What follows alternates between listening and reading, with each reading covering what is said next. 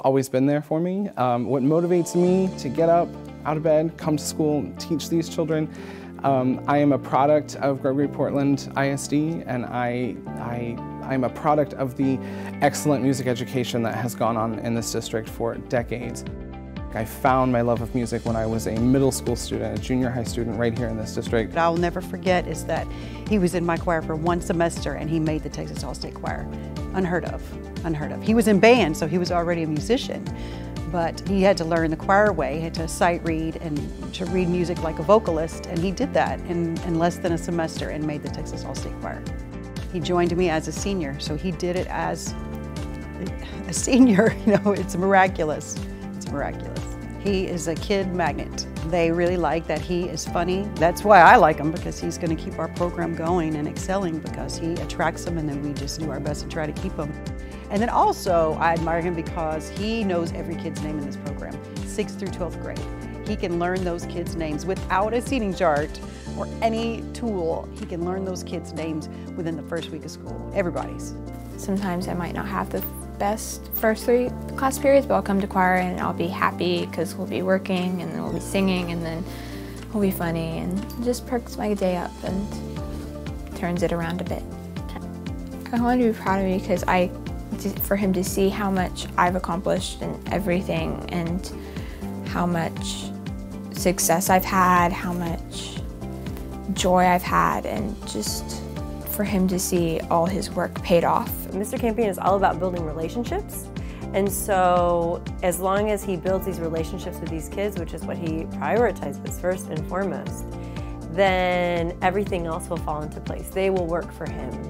And so that's what I've learned like that is most important is that I need to establish strong relationships with my students, know who they are.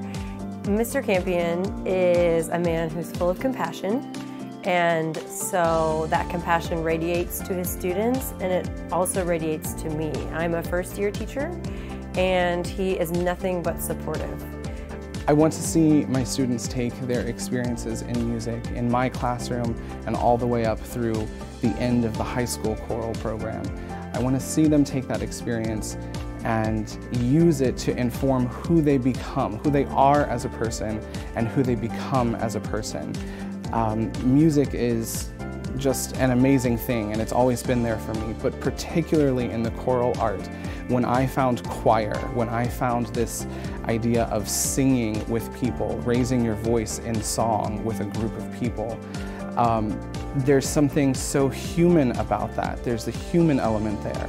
Um, and to me, that is what I that is what I try to work in with my students every day.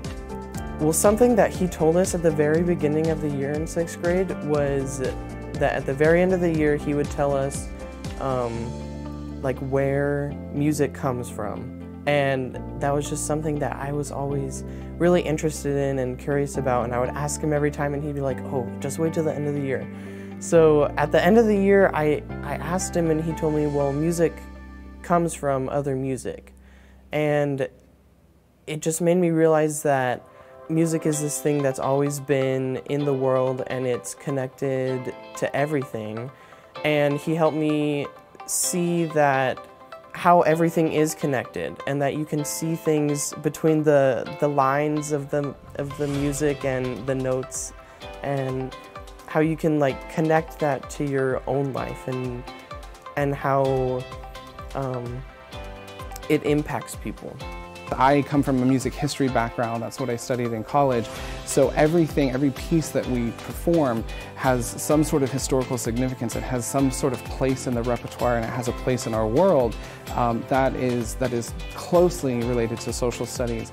Um, music is sound, music is sound waves that come together, so that is science right there in music.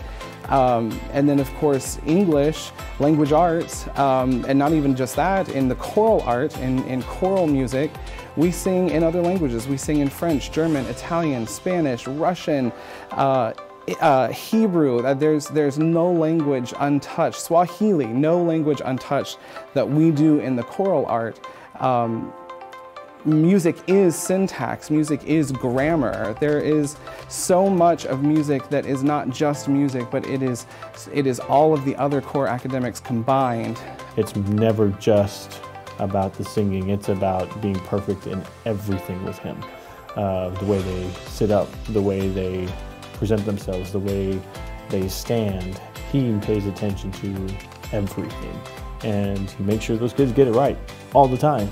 Um, so I think that's the one thing that if you ever want to see a classroom where uh, those high expectations are set, it's definitely his. They have very high expectations, and he demands that they meet them, and the kids do. I think with him, it's it's you have a lot of passion, a lot of desire, and that's not something that is just something you're kind of born with.